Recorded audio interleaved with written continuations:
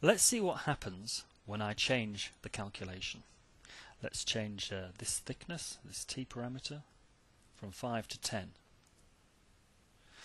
You can see that XLC has automatically updated some of the equations because their display is required to change. This numeric uh, display uh, of equation is required to update because the values, the numeric values of the cell has changed. But I didn't change any cell formulae because um, the, the, the cell formulae haven't changed, therefore the equation hasn't changed. If I was to make a change, then uh, let's make a change to something a bit more interesting here. Let's uh, let's uh, let's get this one wrong. Okay, this is clearly incorrect, and I think it probably shows uh, why XLC is useful.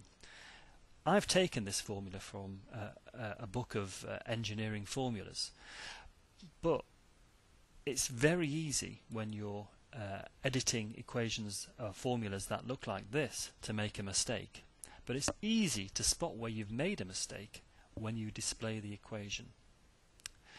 Let me show just uh, one more thing about XLC.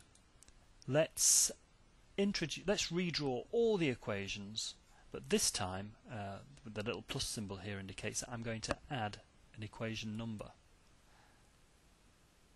Okay, so you can see how it numbers. It numbers from left to right and from top of the page down to the bottom of the page.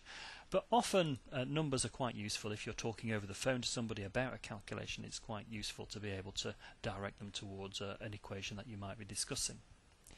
I hope you can see that there's lots of tools here to help you make calculations in Excel.